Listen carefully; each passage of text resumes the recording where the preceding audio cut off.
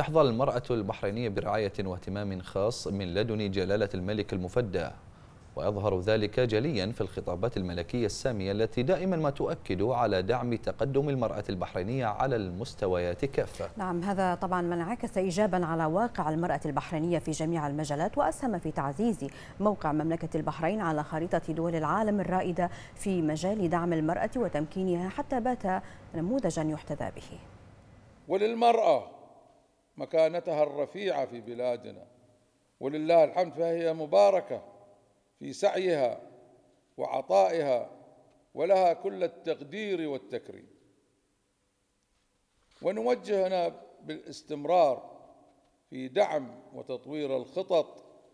والبرامج التي تخصص لذلك. وعلى سبيل المثال لا الحصر الخطة الوطنية لنهوض المرأة البحرينية بمبادراتها الهامة.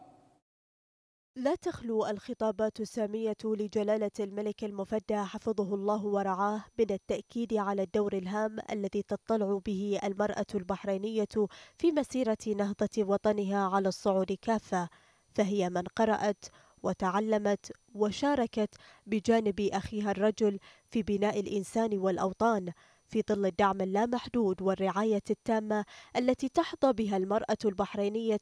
من لدن عاهل البلاد المفدى. وهو ما انعكس إيجابيا على واقع المرأة البحرينية وأسهم في تعزيز موقع مملكة البحرين على خريطة دول العالم الرائدة في مجال دعم المرأة وتمكينها ما مكنها من إثبات دورها وحضورها الناجح والمميز بكل كفاءة واقتدار في جميع المحافل حتى باتت اليوم تشغل العديد من المراكز والمناصب القيادية التي تبقى شاهدة على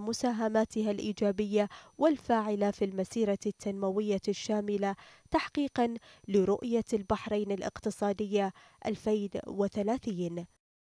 ويأتي الأمر الملكي السامي بتأسيس المجلس الأعلى للمرأة. يأتي تجسيدا للرؤية الثاقبة لجلالة الملك المفدى وترجمة حية للمشروع التنموي الشامل والحضاري لجلالته إيمانا بدور المرأة البحرينية وإمكاناتها وقدراتها وجدارتها في رسم مستقبل مزدهر في ظل العهد الزاهر. فأصبح هذا الكيان الوطني الذي تقوده بكل حكمة واقتدار قريب مدينة عاهل البلاد المفدى رئيسة المجلس الأعلى للمرأة بيت خبرة عالي المستوى نظير إنجازاته العظيمة ونجاحاته المتألقة وبصماته الجليلة في الدعم الاستراتيجي للمرأة انطلاقا من التمكين وصولا إلى التقدم وفق مبادئ وقيم العدالة والتنافسية والاستدامة. ولا شك أن الرعاية الملكية السامية لاحتفالات المجلس بمناسبة يوم المرأة البحرينية